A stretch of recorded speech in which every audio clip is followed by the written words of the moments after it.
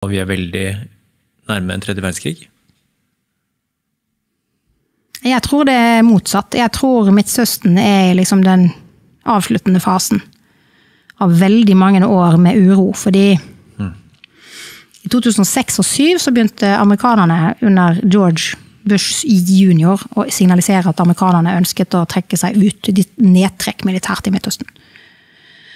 Og det var delvis fordi at eh, det de gjorde i Irak, og også andre steder i Midtøsten, det, det var ekstremt omkostningsfullt for amerikanerne. Både i forhold til tap av menneskeliv, amerikanske liv. Det var veldig mange amerikanere som døde og ble skada. Eh, det var ikke alle av de som telte som soldater, fordi det var veldig mange av de som var kontraktører. Sant? Og når du har en, en kontraktør som gjør soldaters oppgave, så teller de ikke på den offisielle statistikken over falne. Sant? Så hvis du tar og ser på det, Det har vært en del sånne undersøkelser i forhold til moderne Eh, feltmedisin, som har blitt veldig mye bedre i det siste. Men hvis du sammenligner det med Vietnamkrigen, så mener man jo at hvis man hadde hatt like god feltmedisin som man hadde i Irak under Vietnamkrigen, så hadde tapstallene vært omtrent eh, like. Kanskje enda verre i Irak, mhm. faktisk. Det var en helt forferdelig krig for amerikanerne, faktisk. Masse skadde, fordi de har klart å redde folk, men de, de, de er jo da invalidiserte eller ødelagte for livet, enten fysisk eller psykisk.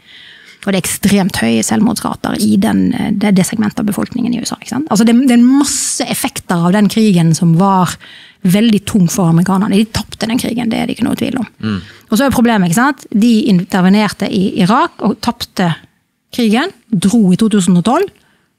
Og så kom jo IS eh, året etterpå. sant? Mm. Så måtte de tilbake igjen. Og så gikk eh, russerne inn i Syria i 2015. Vant egentlig i praksis den syriske borgerkrigen. Det er ikke da noe som russerne lar være å trekke frem som et poeng, hvis du ser poenget. sant? Så det, så det betyr egentlig at russerne bruker Syria, sammenligner det med Irak, og viser hm, Se hva russerne kan gjøre for dere. Sant? Vi er villige til å stå i det. Vi står imot. Vi slåss på den måten det er nødvendig for å få kontroll over borgerkrigen og få jagd ut IS. Det er jo ikke helt riktig, fordi det var jo eh, amerikanerne og sågar også nordmennene som var med på å bekjempe IS. Men forutsetningene for at det kunne gjøres, var russerne med på å bidra til. Og det, De som prøver å late som om det ikke er tilfellet, de kan gjerne si det, men virkeligheten ser sånn ut. Og sånn ser den også ut i Midtøsten for landene i Midtøsten. Sant? Tilbake til det, hva slags ikke bare rolle spiller Russland, og hvordan kan Russland utnytte den, men hva slags posisjon har Russland i Midtøsten? Og den er helt annerledes. Mm. Også nå, to og et halvt år etter aggresjonskrigen i, mot Ukraina. Og det, og, det, er det der som er, som er, den utfordringen vi har, da. Uh, at uh, Ja. Um, uh, men Midtøsten er ikke Europa. I Midtøsten så slåss eh, statene ikke med store konvensjonelle kriger, krig, liksom, militærapparater, mm. lenger. Eller de gjorde det mellom Iran og Irak på 80-tallet. Men etter det, og særlig etter at amerikanerne begynte å signalisere nedtrekk, Uh, og så forsøkte Obama når han kom inn i 2008 og 2009, å oppfordre til tostatsløsningen. Og da gikk jo israelerne inn på Gaza, kast-ledd-operasjonen like etter at Obama ble valgt, og før han ble satt inn, for å få kontroll over Gaza og få kasta ut Hamas. Mm. Det gikk jo ikke bra i det hele tatt. Hamas vant den krigen. Befestet sin kontroll over Gaza. Og i den israelske befolkningen så mistet man troen på tostatsløsningen. Fordi at sånn som den krigen, krigen, hadde utspilt seg, og sånn som situasjonen var, så tenkte man at vi har ingen partner for tostatsløsning. Ikke sant? Det går ikke, dette her. Og da gikk eh, Likud som Ariel Sharon hadde forlatt fordi han mente at Likud var blitt for eh, religiøst orientert og på en måte var villig til å gå til sengs med settlerbevegelsen. Og Ariel Sharon ønsket ikke at Israel skulle dras i en mer sånn religiøs ekstrem retning. og Derfor så gikk han ut av Likud og etablerte Kadima-partiet, som var meningen skulle vinne krigen på Gaza. Og så skulle man få liksom, eh, palestinerne som hadde kontroll over Vestbredden og Gaza. Og så skulle Tippi Livni, en kvinne som da hadde vært med på krigen på Gaza, vinne valget i Israel med et mandat om en tostatsløsning. Så skulle Obama komme inn, og så skulle du få fred i Midtøsten. Sant? Og så gikk det så galt, fordi Hamas vant på Gaza, befestet sin stilling, og Netanyahu vant valget på, en, eh, på et eh, mandat egentlig om å ikke forhandle med, med palestinerne. Mm. Og Det var da Deli Kud som etter hvert valgte å jobbe eh, politisk mer og mer med ytterliggående krefter i Israel, og som har blitt dratt For hver regjering Bibi Netanyahu har hatt, så har den på en måte gått mer og mer til høyre. Frem til den regjeringen som kom for to år siden, 2022, hvor Netanyahu egentlig jo ikke egentlig vant valget, men klarte å skrape sammen en, eh, en regjering bestående av mennesker som har hyllet Baruch Goldstein, som massakrerte bedende muslimer i 1994 i eh, moskeen i Hebron, mens de satt og ba. sant? Han blir hyllet av ministre som sitter i Netanyahu sin regjering nå. Er jo, det, det, er de som fortsatt sitter i regjeringen. Smotrich, som er finansminister, og som også er viseforsvarsminister, med ansvar for situasjonen på Vestbredden. Og Ben-Gvir, som er settler, med ansvar for innenrikspolitisk sikkerhet i Israel. Det var han som hadde ansvaret for, for det første, at det ble provosert så mye på, på, på, i Jerusalem dagene før angrepet 7. oktober, at når det kom 5000 raketter fra Hamas om morgenen 7. oktober, så skjønte ikke den israelske hærledelsen at det var et angrep av den typen som kom. Og de to brigadene som den israelske folkehæren, som jeg snakket om denne sosiale kontrakten, da, hvor du, du, stiller Du gir to år av, tre år av ditt liv, da, to år hvis du er kvinne, til å være i de væpnede styrker. og Brukes til å beskytte Israel fordi du skal aldri oppleve jødeforfølgelse på suverent israelsk territorium. De to brigadene som skal stå stasjonert utenfor Gaza, de hadde denne settlerministeren, Ben Gevir, beordret til Vestbredden for å passe på settlerne der. fordi der hadde hans regjering, nemlig sammen med Smotrich, gitt voldsomme vide fullmakter til hva settlerne kunne gjøre på Vestbredden. Og settlerne hadde jo gått amok.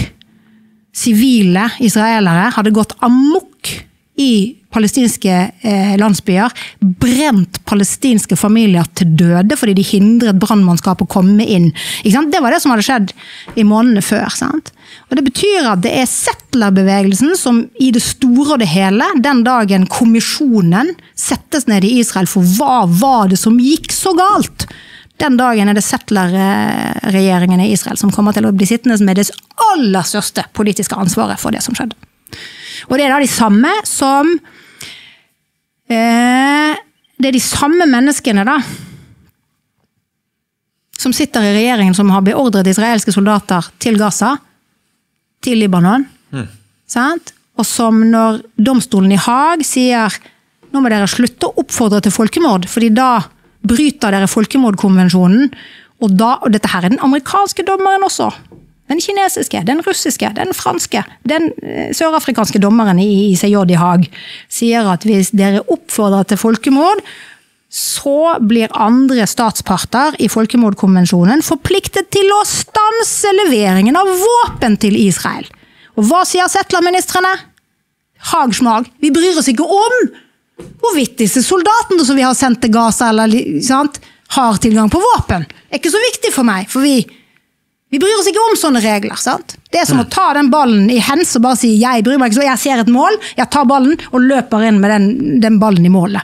Later som jeg er keeper. Sant? Det er den måten de har reagert på en del av det institusjonelle presset rundt. Og så Tilbake til det som vi snakket om helt innledningsvis. Ja, ja, men kan man, eh, altså Hvordan er det med håndhevelse av denne folkeretten? da? Mm. Og Det som er interessant, det er jo nettopp den prosessen som foregår i Haag.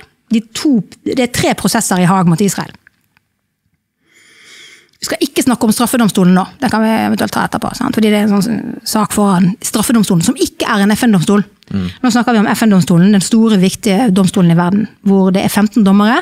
Og de er valgt ut av eh, da, de store maktene i verden. Sant? Det er USA, eh, Kina, Russland.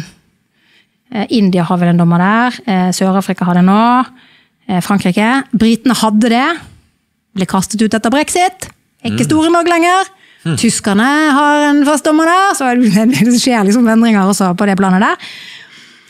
Eh, og de, hadde jo, de fikk da brakt inn en sak eh, fra Sør-Afrika i januar, hvor Sør-Afrika sier vi mener at Israel bryter folkemordkonvensjonen. Det var eh, gjennom sine, sine, operasjoner på Gaza. Eh, og da sa den internasjonale domstolen i Haag at ja, denne saken ligner veldig på den vi har i Myanmar, hvor Gambia, også et afrikansk land, har sagt at myanmarske myndigheter begår folkemord mot den muslimske minoriteten rohingyaene i Myanmar. Mm. Og Da sa ICJ i 2020 det tar vi opp. Sant? Ikke fordi det nødvendigvis er dette juridiske, veldig smale folkemordbegrepet som er i spill, men fordi aha, Sikkerhetsrådet funker ikke i Myanmar fordi Kina legger ned veto. Mm. Så da sier ICJ ok, vi får se om det er folkemord. da. Og så ser vi her, ja, den myanmarske hæren de har drevet med krigsforbrytelser, og de har drevet med dette og dette. Eh, og vi vet ikke om det er folkemord. Det skal vi ta stilling til eh, om noen år, fordi det tar lang tid med disse dommene. Sant? Men i mellomtiden så har ICJ en instruks som er bindende for myanmarske myndigheter. Dere må gjøre slik og slik og slik for å beskytte rohingyaene. Eh, og hvis ikke dere gjør det, så eh, da vil vi ta det med oss når vi skal behandle hvorvidt det myanmarske regimet har en intensjon om å utrydde rohingyaene. Så hvis ikke dere følger den instruksen vår nå, så er det en veldig stor sjanse for at dette blir ansett for å være et folkemord. Mm. Dette er for så vidt eh, bindende instrukser, men det er litt sånn velmenende råd for å unngå å bli dømt for folkemord. Sant? Så hvis du ikke gjør det der, så kommer du trolig til å få en folkemorddom i andre, eller det er i hvert fall en høy risiko for det. Sant? Fordi det blir en del av behandlingen til domstolen. Det blir en indikasjon på folkemordsintensjon. Sant? Og når domstolen gjorde dette her i 2020, på Myanmar, og så kommer en annen afrikansk stat, Sør-Afrika, og sier ja, eh, vi mener at dette her er, folkemord. Og, ja, det, er liksom, det er folkemord. Mener vi er brudd på folkemordkonvensjonen. Og så sier ICJ ja, se her du, det er jo helt like saker. Ja, skal vi se, da må vi følge igjen vår egen presedens. Og så gjør ICJ det, og så sier de ja, dette må vi gjøre. Bortsett fra én dommer som sa nei, jeg er ikke enig, jeg syns ikke ICJ skal behandle denne saken. Det var den afrikanske dommeren Sebutinde. Hun sa dette er politisk bruk av domstolen, det vil jeg ikke være med på. Det er jo selvfølgelig riktig, men domstolen sa ja eh, for å komme seg rundt det kinesiske vetoet. Og da må de si ja for å komme seg rundt det amerikanske vetoet. For Grunnen til at Sikkerhetsrådet ikke er tyngre på Israel, er fordi amerikanerne legger ned veto. Og Det betyr at ICJ holder disse to sakene, hvor det er Kina i den ene enden og USA i den andre saken, og så sitter hele verden i åndeløs spenning og ser ja vel, ja. Er det slik at vestlige land har én standard for seg selv i de internasjonale globale institusjonene, og én for alle oss andre, og da er det ikke Russland, men da er det Kina det er snakk om? Eller er det slik at det er likebehandling? Det er en av spørsmålene her. Sant? Så dette her er en ganske sånn stor diskusjon som handler om egentlig det vi snakket om i første del av samtalen vår om folkeretten. Hvor skal den gå? Mm. Hvem, hvem, sine interesser skal den tjene? Disse eh, globale institusjonene våre som egentlig har både blitt de, de har utviklet seg nå de siste tre tiårene i en ganske annerledes verden.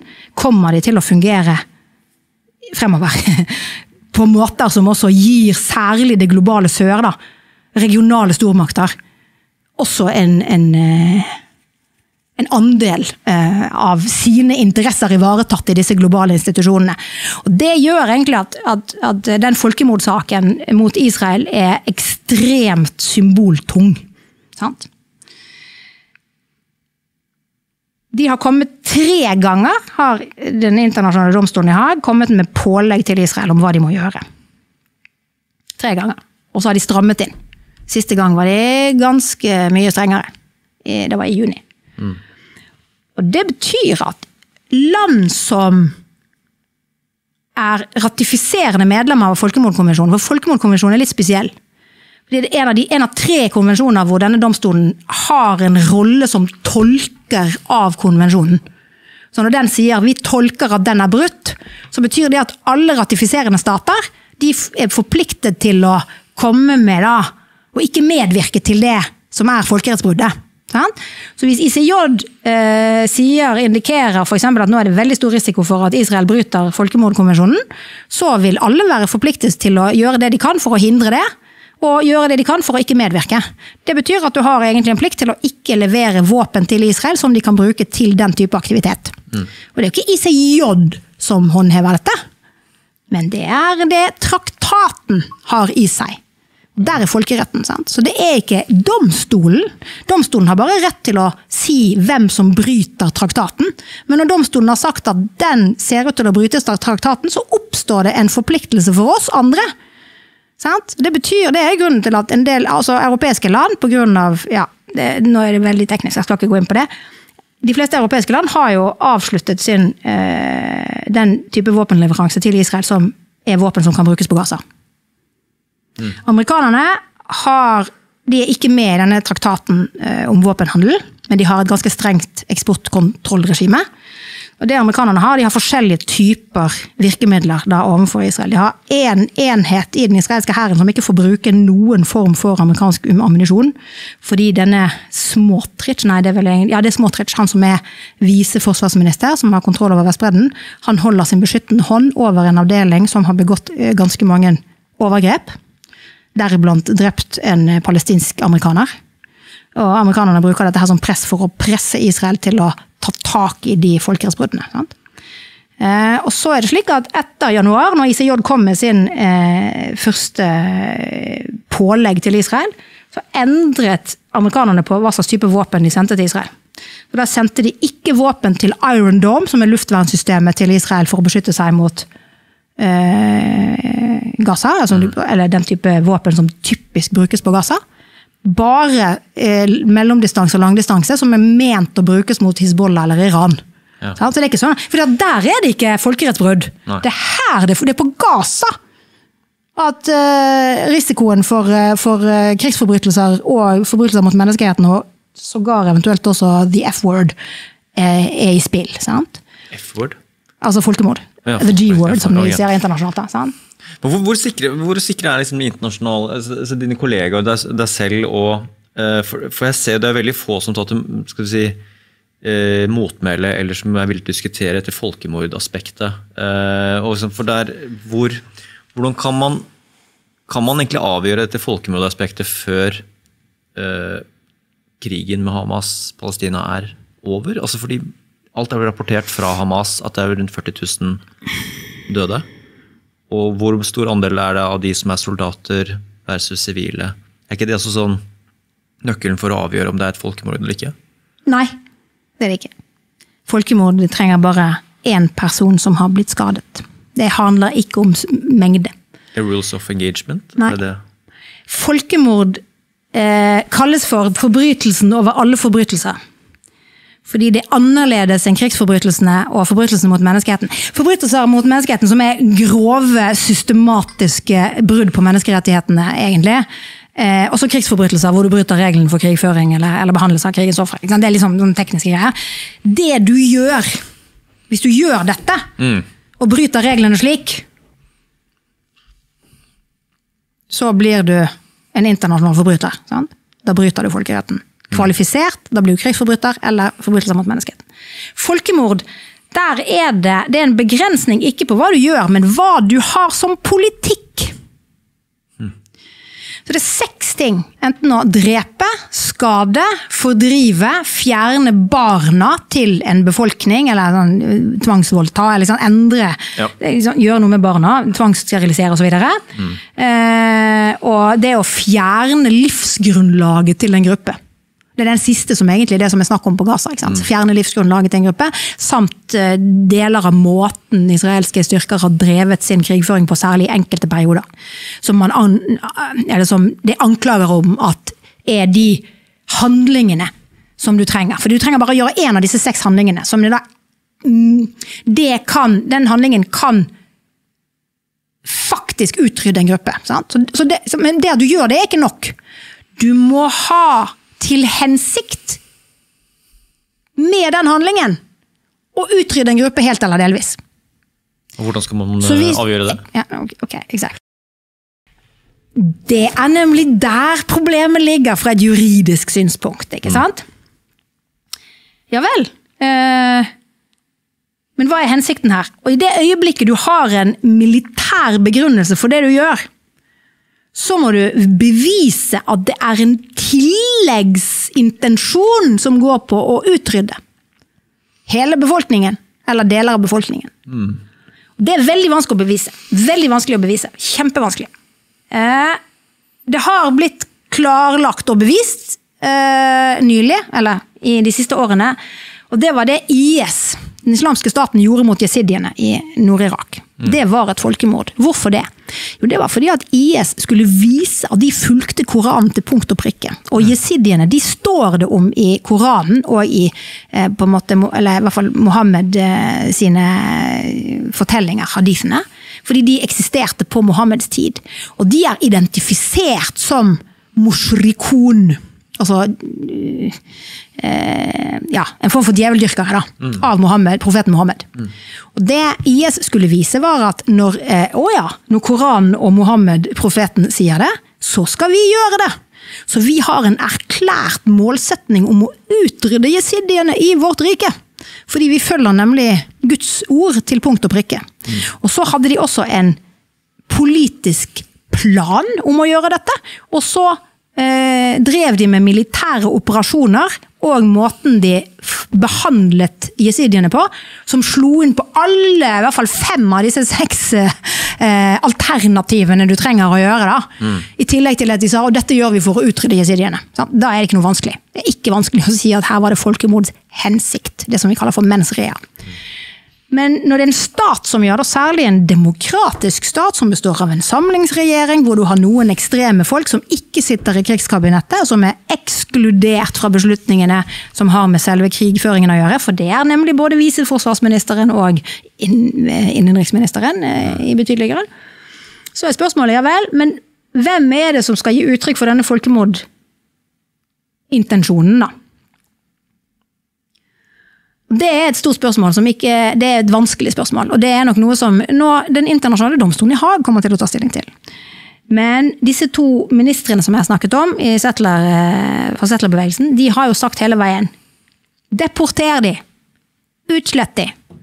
De har brukt et språk mm. gjennom hele krigen som klart omfattes av forbudet mot å oppfordre til folkemord. Fordi det er også et forbud mot det i konvensjonen. Mm. Men det er jo ikke det som er den formelle israelske Holdning. holdningen. sant? Mm. Og det er de samme som sier, når amerikanerne sier 'ikke angrip Iran', øh, og alle militære øvelser som Israel har hatt øh, de siste tolv år i forhold til å angripe Iran, det har vært sammen med amerikanerne, og amerikanerne bærer mesteparten av liksom. sant? Eh, og disse to ministrene sier vi bryr oss ikke om Iran. Vi, går til, nei, vi bryr oss ikke om USA. Hva USA sier, vi går til angrep mot Iran fordi vi har Gud på vår side. Mm. Dette her er på en måte, det, det, det, den type politikere. Er det de som definerer om dette? Og det er det som er problemet for, for dette med folkemord. Da. Er det det eller ikke? Da kommer jo ICJ til å ta stilling til dette. Og Det er også en av grunnene til at folkerettsjurister er litt, nå er sånn tilbakeholdne med å gå for mye inn i dette, her, for dette kommer jo til å bli avklart på et tidspunkt. Mm. Men det som er viktig å vite, er liksom, både i Myanmar og i Israel sine kriger, eller sin krig på Gaza, egentlig, fordi det er det det handler om her, så brukes ICJ til å bokse inn måten disse to statene kan føre sin krig på. Sant? Egentlig er det det som, som, er situasjonen. Så det brukes som et sånn instrument. Uh, og pisken er at hvis du ikke følger, følger, det vi beordrer deg til å gjøre, så er det stor risiko for at vi kommer til å konkludere med at det var folkemord likevel, selv om ikke det er det i dag. Mm. Fordi den måten, da, denne intensjonen Hvis du ikke gjør det vi sier er nødvendig for å beskytte sivilbefolkningen på, på Gaza, så vil vi tolke det som en indikasjon på at det er en folkemordsintensjon. Skjønte du opplegget? Det er litt sånn komplisert, men det er veldig viktig. Mm. Fordi det er det som liksom er kjernen i det. Og Det er også litt sånn viktig, fordi det er mye sånn, eh, som du sier, du kan ikke engang dra dette F-ordet fordi det blir så dårlig stemning, eller folk er så sinte. og, og sånn. Men mm. det er veldig viktig å være klar over dette, følgende. At om dette er juridisk sett et folkemord eller ikke, Eh, er ett spørsmål. Og den juridiske folkemorddefinisjonen er veldig snever. I denne Myanmar-saken så har Canada og Frankrike og Tyskland og Danmark og Nederland levert inn en sånn 'dette mener vi stater', at terskelen for folkemord skal senkes. Mm. Det gjorde de i forhold til Myanmar. Det var før krigen på Gaza. Og det er klart, hvis det gjelder for terskelen i Myanmar, så må det også gjelde for terskelen på Gaza. Og så er spørsmålet nå, ok, mener vestlige land at den samme terskelen skal gjelde for Myanmar sitt militære som for det israelske militæret? Eh, i- igjen tilbake til dette med doble standarder. Sant? Så det er masse sånne tester ute og går i disse, i disse prosessene. Hvor det er veldig mange land i verden som sitter og følger veldig nøye med på om det er doble standarder, eller om vi har én standard for alle land sin krigføring i verden. Ja. Jeg må bare minne deg på at eh, Jeg må gå. sk- Skulle ikke du være et sted klokka seks? Jeg skal være et sted klokka seks. Dæsken. Har vi har vi gått så lang tid? Du, men ikke sant? Men, Ja. men dette her La oss rappe opp her. Ja, la oss eh, rappe opp. Eh, vi har ingen, eh, vi har ingen in- institusjon i verden i dag som kan gripe inn og stanse folkemordet. eller sånn, det, det er jo det som er spørsmålet. Jeg kaller det ikke for et folkemord, fordi det var det som jeg skulle si. Nei, det, det må jeg bare få sagt før jeg går. fordi at Ja. Hvorvidt det er juridisk et folkemord eller ikke Det er ikke slik at hvis ikke det juridisk er et folkemord, så kan du ikke kalle det for et folkemord. Sant? Den, eh, skal vi si, eh, folk flest sin språkbruk sant? er fri. I hvert fall i Norge. Sant? Enn så lenge. Så alle mennesker og samfunnsgrupper som utsettes for den type kriger som palestinerne gjør nå, vil kalle det for et folkemord. Det gjorde også kurderne i Irak på 80-tallet. Det er ikke sikkert det juridisk sett var det nok ikke et folkemord, men i den kurdiske historien og bevisstheten og deres beskrivelse av hva de selv gikk igjennom, så var det et folkemord. Armenske folkemordet. Der krangler man også litt sånn om er det juridisk eller ikke, men det er jo for så vidt eh, før denne juridiske snevre definisjonen kom inn. Og For palestinerne så handler dette her ikke egentlig om hvorvidt det juridisk sett er et folkemål eller ikke. Det vil påvirke tilgangen som Israel har på våpen. Så det er mer en sånn taktisk ting, nesten. Men det som er viktig for mange palestinere, og mange som støtter palestinerne, er at Israels, altså jødene ble utsatt for voldsomme forfølgelser og fikk en stat. Det var et folkemord, de fikk en stat. Dette kaller vi for en folke, et folkemord, og det må ende opp med at palestinerne får en stat. Det er grunnen til at folkemordsbegrepet pushes voldsomt her. Sant? Eh, og så er det i tillegg en sånn eh, dimensjon med at Israel, og eh, særlig Israel egentlig, har alltid ønsket at folkemordbegrepet skal være reservert for det som skjedde med jødene under andre verdenskrig. Fordi det var i en, det var i en egen klasse. sant? Eh, og de har ikke ønsket at andre historiske eh, overgrepskampanjer skal komme opp der. De ønsket ikke at kurderne, eller armenerne, eller sigøynerne, eller Rwanda ikke sant? Veldig sånn, Dette her var oss, en sånn sui generis. Det skjedde bare med oss. Og Det er også noe som har skapt ganske mye misnøye, fordi at det jo Det foregår veldig mye forferdelig. Veldig mye overgrep i verden som kan kvalifisere som folkemord. I hvert fall som en måte for grupper til å beskrive det de selv erfarer. Sant? Og det er klart, Der er det helt fritt å si det er et folkemord som foregår på Gaza. Men du kan ikke kreve at jurister skal liksom si at ja, dette er et folkemord, og hvis du sier at nei, det er ikke sikkert at det er et folkemord, så betyr ikke det at man går god for det. Det betyr, sant? Det betyr at den politiske bruken av det og den juridiske bruken av det er to forskjellige ting internasjonalt. sant? Uh, ja, og Det er litt viktig å forstå. sant? Så Når jeg sier at trolig er det ikke et folkemord per i dag, så betyr ikke det at jeg, jeg, jeg sier "Ing- nå må alle slutte å bruke F-ordet. Jeg bare sier at uh, ikke sant? Det er egentlig en slags prediksjon om hva ICJ ville komme til i dag.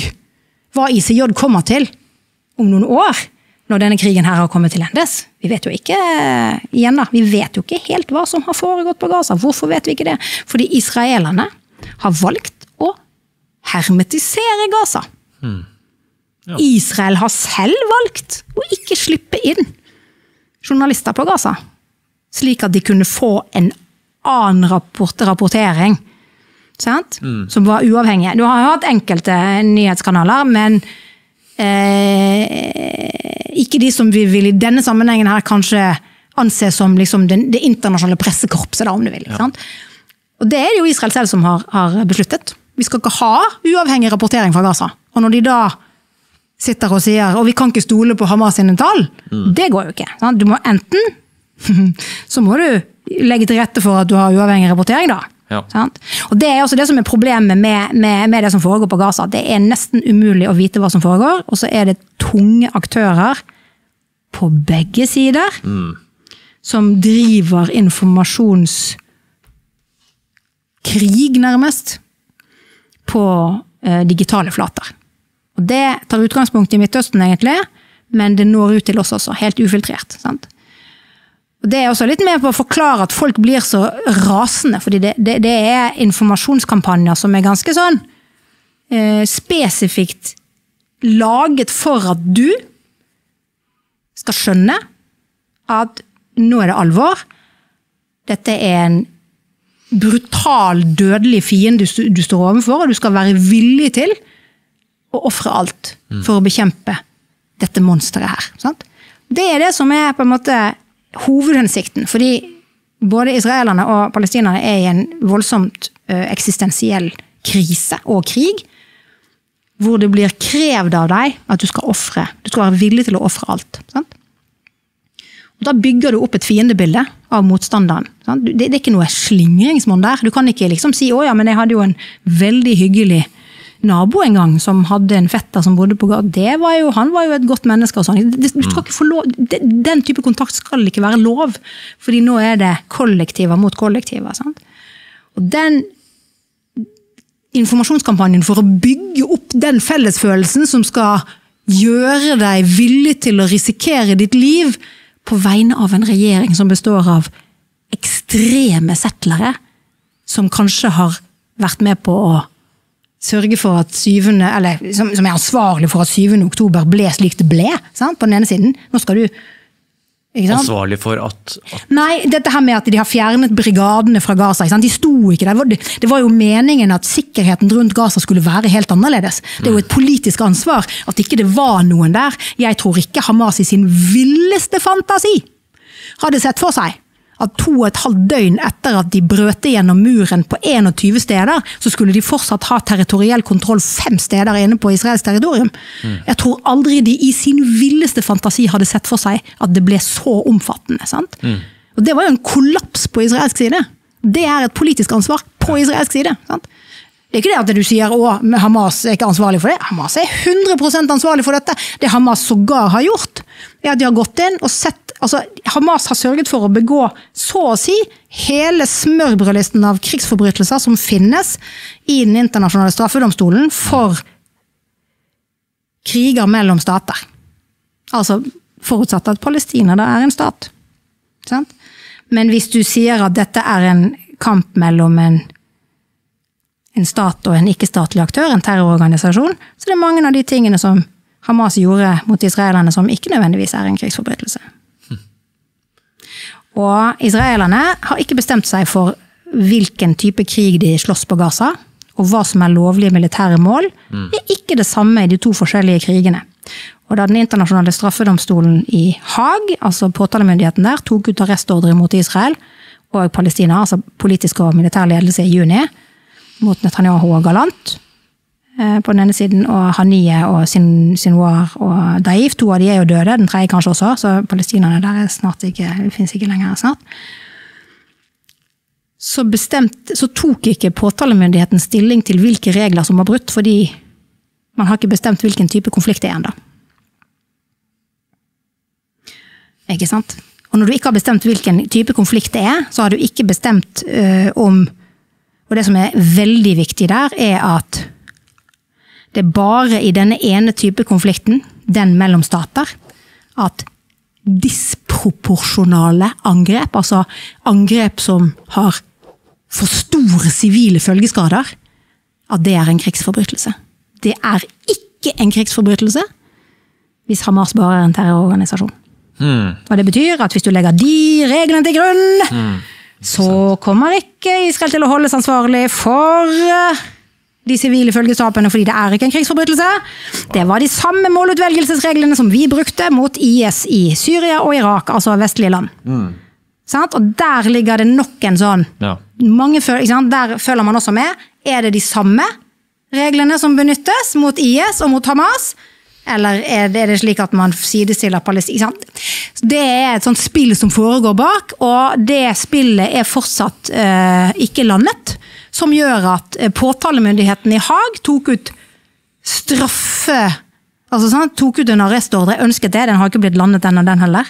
Arrestordre mot uh, Netanyahu og Galant. Mm. For, en, for krigsforbrytelser i en krig hvor man ikke engang har besluttet hvilke regler som gjelder. Det er jo tror jeg vi kan si eh, ganske uvanlig. Innenfor strafferetten, i hvert fall. Det, og det viser også at mm. man presser institusjonene sine her. Man presser de nesten liksom til, til grensen av hva de er laget for. Til dels for å vise at det er samme standarder, eh, og til dels fordi alle er så frustrerte for at ikke vi har gode instrumenter for å hindre det eh, forferdelige blodbadet som har utspilt seg på Gaza. Fordi det er det jo virkelig. ikke sant? Uansett hva slags uh, tall som er riktige her, så er dette her dette er en brutal krig. Derom heft, uh, hefter det ingen ingen tvil, uansett hva slags tall Hamas egentlig på en måte gir oss. Sant? Det er på en måte hevet over enhver tvil. Mm. ja. Det, det, det, tror jeg vi kan si. Men, men, det er et sånt spill her bak da, som, som er, er, av et tempo og av en kompleksitet som eh, jeg aldri har sett før, faktisk. Fordi at dette her er jo et uh, vepsebol. Og i sted så snakket vi om risikoen for at det blir uh,